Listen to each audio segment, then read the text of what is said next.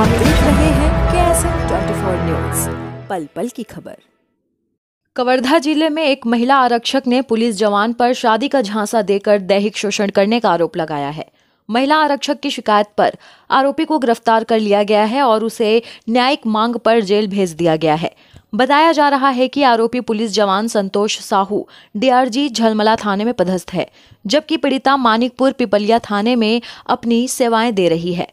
पीड़िता का आरोप है कि आरोपी उसके साथ पिछले एक साल से बलात्कार कर रहा है और जब भी शादी करने की बात करती तो मुकर जाता।